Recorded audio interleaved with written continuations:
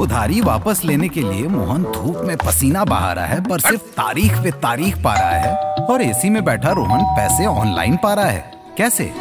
खाता book. Digital India का digital खाता। मुफ़्त, सुरक्षित और आसान। हेलो, आप देख रहे हैं दिल टॉप और मैं हूँ निखिल।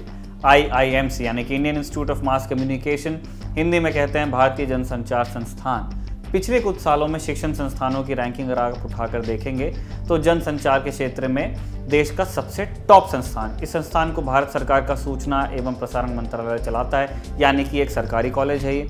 सितंबर उन्नीस सौ पैंसठ में इंदिरा गांधी ने संस्थान की नींव रखी थी। आई एक साल का डिप्लोमा सर्टिफिकेट देता है। मेन कैंपस इसका दिल्ली में है और इसके पाँच रीजनल कैंपसेस हैं जो कि देश के अलग अलग हिस्सों में हैं। ढेंकानाल, अमरावती, कोट्टायम, जम्मू और आइजॉल। दिल्ली कैंपस में पाँच कोर्स पढ़ाए जाते हैं। हिंदी पत्रकारिता, अंग्रेज़ी पत्रकारिता, विज्ञापन एवं जनसंपर्क, रेडियो एवं टीवी पत्रकारिता और उर्दू पत्रकारिता। हम आपको ये सब इसलिए बता रहे हैं क्योंकि आईआईएमसी के दिल्ली कैंपस में स्टूडेंट्स धरने पर बैठे हुए हैं तीन दिसंबर से। क्यों बैठे हैं? फ़ीस में मनमानी बढ़ोतरी के विरोध में। 2019-20 के लिए हिंदी और अंग्रेज़ी पत्रकारिता की फ़ीस बढ़ाकर पिचानवे हज़ार पाँच सौ रुपये कर दी गई है। यानी कि तकरीबन तकरीबन एक लाख, साढ़े चार हज़ार कम है। पिछले सेशन में ये फ़ीस थी उन्यासी हज़ार, यानी कि सेवेंटी नाइन थाउज़ेंड माने फ़ीस सीधे बीस दशमलव आठ नौ प्रतिशत बढ़ा दी गई है। उर्दू पत्रकारिता की फ़ीस तिरपन हज़ार पाँच सौ कर दी गई है। ये 2018-19 में तिरालीस हज़ार रुपये थी। रेडियो एवं टीवी पत्रकारिता की फ़ीस एक लाख अड़सठ हज़ार पाँच सौ रुपये कर दी गई है, जो कि पिछले सेशन में एक लाख पैंतालीस हज़ार थी। विज्ञापन एवं जनसंपर्क कोर्स की फ़ीस एक लाख इकतीस हज़ार पाँच सौ रुपये हो गई है। पिछले सेशन में ये फ़ीस एक लाख बारह हज़ार थी।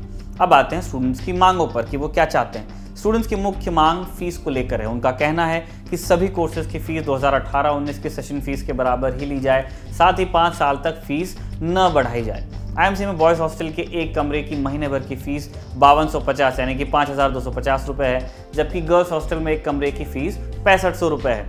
छात्रों की मांग है कि इस फ़ीस को कम किया जाए। लड़कों के मामले में एक कमरे में तीन छात्र रहते हैं तो बावन की फ़ीस तीन छात्र मिलकर भरते हैं। आईएमसी में लड़कियों को पूरी हॉस्टल सुविधा मिलती है, लेकिन लड़कों के हॉस्टल में सिर्फ़ चौदह कमरे हैं। तीन स्टूडेंट्स पर कमरे के हिसाब से, यानी कि एक कमरे में तीन छात्र रहते हैं, जैसे कि हमने आपको पहले भी बताया था। तो बयालीस सीटें हुई। पाँच कोर्सों को मिलाकर के सिर्फ़ बयालीस लड़कों को ही हॉस्टल मिल पाता है इस वजह से।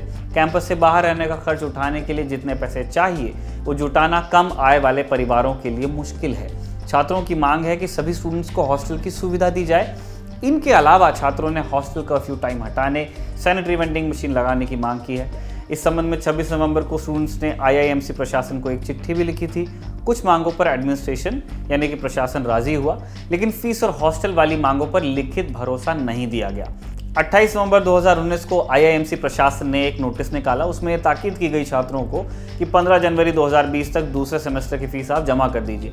छात्रों का कहना है कि जब तक फ़ीस कम करने वाली मांगे उनकी मान ली नहीं जाती, तब तक इस नोटिस को रद्द किया जाए। हिंदी पत्रकारिता की स्टूडेंट अवंतिका तिवारी से हमारे साथी अभिषेक ने बात की। उन्होंने अभिषेक को बताया 26 नवंबर को छात्रों के संस्थान के अधिकारियों के साथ मीटिंग हुई थी। प्रशासन ने तर्क दिया कि हर साल फ़ीस 10 फ़ीसदी की रेट से बढ़ती है, लेकिन पिछले साल की तुलना में जो वृद्धि हुई है, वो इस गणित से मेल नहीं खाती है। आईएमसी प्रशासन का कहना है, वो भी जान लेते हैं। आईएमसी के एक सीनियर अधिकारी ने हमारे साथी अभिषेक को बताया आईएमसी में फ़ीस वृद्धि के खिलाफ प्रदर्शन कर रहे छात्रों से संस्थान बातचीत कर रहा है। दूसरा बिंदु 4 दिसंबर को इंस्टीट्यूट की तरफ़ से ओपन हाउस मीटिंग बुलाई गई। छात्रों की परेशानियों को सुना गया। आईएमसी प्रशासन और बाकी फैकल्टी भी इसमें मौजूद थे। तीसरा बिंदु यह है, छात्रों की मांग पर विचार करने के लिए कोर्स डायरेक्टर्स की कमेटी बनाई गई है और इस कमेटी के अध्यक्ष हैं डीन।